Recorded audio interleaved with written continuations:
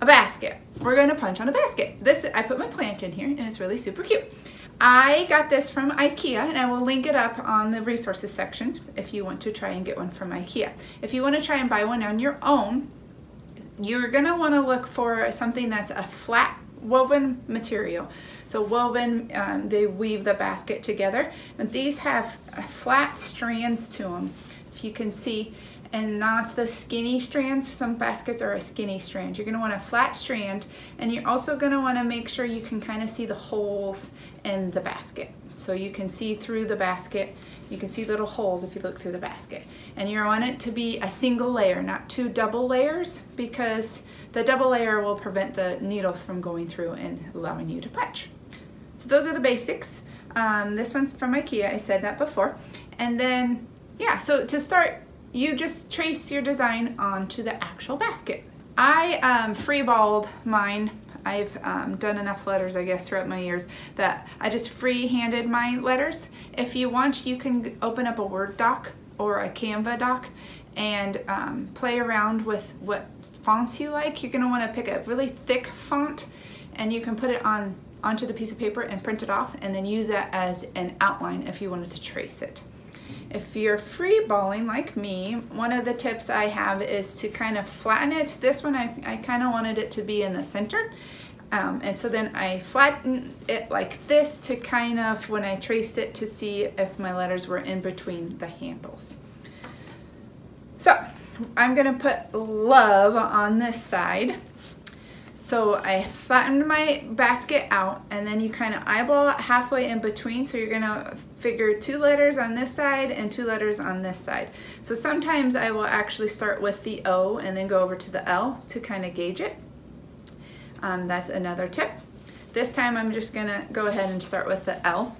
So I have it about spaced where I want it and then I'm just going to draw my letter I already did this for practice. I'm gonna draw my letter onto the basket and I am just using a regular number two pencil because it, um, it wrote really well on this basket. And um, then you won't be able to see it as well if you your yarn doesn't cover some of your tracing, you can't really see the pencil. So that's another tip. Then to start punching I try to punch in the holes as much as possible. You can punch into the strands of the basket weave. Um, I did that on this side and it didn't, it, everything held up. It held the yarn, nothing slipped out. The basket's still very sturdy. But in order to keep it sturdy, I wanted to keep it inside the holes. So I tried to do that as much as possible. You're not probably going to be able to do it with every single punch hole, and that's fine. It, it worked just as well. So you punch through your first hole and you're going to outline your letter first. So I punch through at the top of my L and I'm going to pull the yarn through to the other side. Remember your yarn tail needs to be loose. And then I just go and make my outline of my L following that line that I already put in there. And you will come across some parts that are not inside a hole. And like I said earlier, that is okay. You can do that. I just, when you're filling it in, try to hit the holes as much as possible. But on the outline, it was um, especially important to see the actual outline and make it so it looks like a real letter L. I also, another tip, so right here, I kind of got off guard or offline, it's gonna be crooked and I don't want it to be crooked. So I'm gonna take that out, which you can do on these baskets. And I'm gonna go up here and hit that hole instead. And you can kind of look ahead to where your holes might hit your outline and where they might not. There I went inside the weave and it's completely fine if you can see that.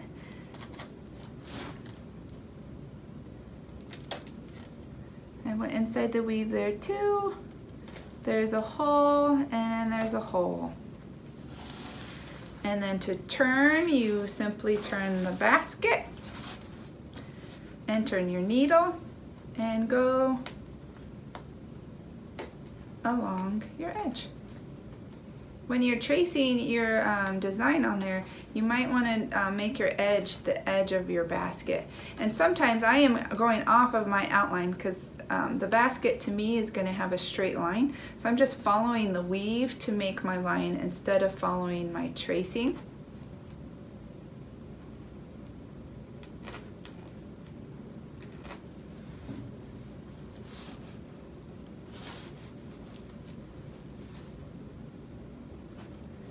and then I'm turning another corner and just outlining.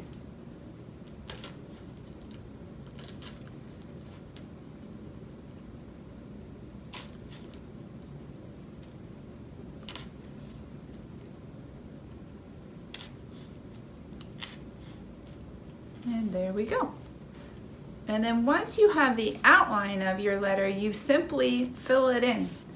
So here I have, you just color it in with the yarn.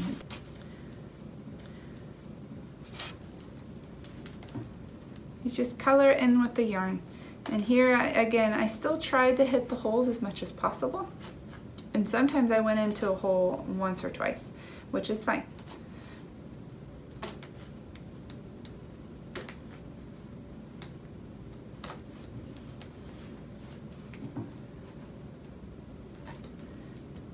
I also did the whole outline into the middle on this one.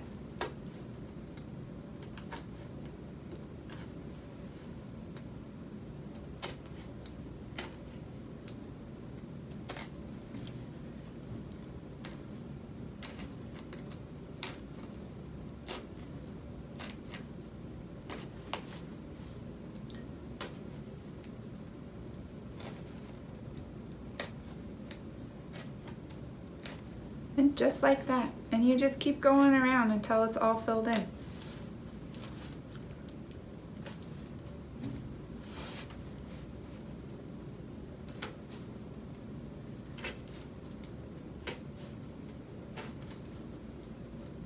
And do not forget your yarn tail.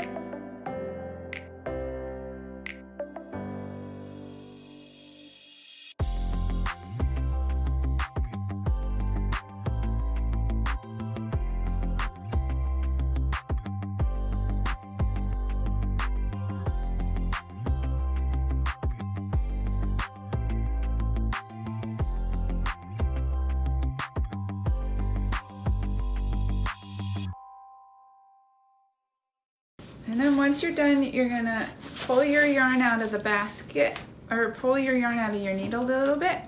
Use your scissors to trim the tail and then just pull your needle out. And that's, that's how you do it. It's as simple as that. And you can trim your tails inside to make it a little bit nicer looking. And if you are gifting this or selling it to somebody, you could um, use an acid-free glue and some fabric to kind of cover that inside to kind of hold it down. That's it. Super easy. Have fun with it. And don't forget to share what you make on hashtag North Shore Crafts.